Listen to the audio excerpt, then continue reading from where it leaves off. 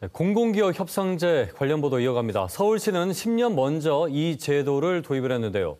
아파트 대신 지역 발전을 위한 시설 확충에 방점을 뒀습니다. 부산은 논란과 갈등이 계속되고 있죠. 아파트 협상제로 전락한 부산의 공공기업 협상제 전면 재검토해야 한다는 비판이 나옵니다. 보도에 박선자 기자입니다. 지난해 3월 문을 연 용산 역사박물관. 용산 철도병원터에 아파트 600여 가구를 짓는 대신 받은 공공기여금 중 70%에 달하는 470억 원을 투입해 조성했습니다. 서울 성동구치소 터에는 아파트 1,300여 가구가 들어서는데 700가구는 신혼희망타운 공공주택입니다.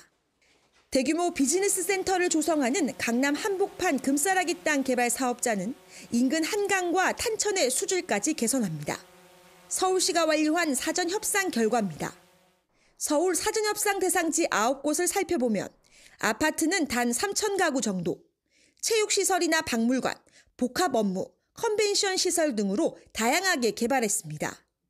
특히 공공기여로는 청년 창업센터나 복합 공공시설, 또 공익시설을 위한 외부 토지 등 대부분 현물로 받았습니다.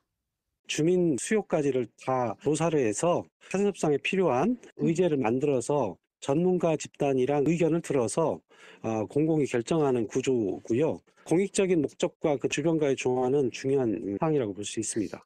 부산은 세 곳에 7천 가구가 넘는 아파트가 들어서는데 공공기여로 현금을 주로 받아 정확한 사용처도 알 수 없습니다.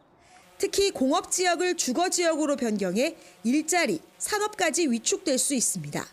구체적인 개발 방향 없이는 아파트 협상제로 전락해 특혜 시비에 휘말릴 수밖에 없습니다.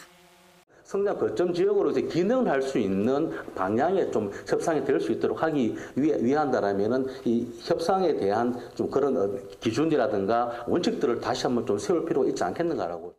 공공기여 시설과 기금 사용에 대한 지침을 마련하고 공공기여를 제대로 이행하지 않을 경우 반드시 책임을 질 수 있게 하는 제도를 마련해야 한다는 지적이 나옵니다. KBS 뉴스 박선자입니다.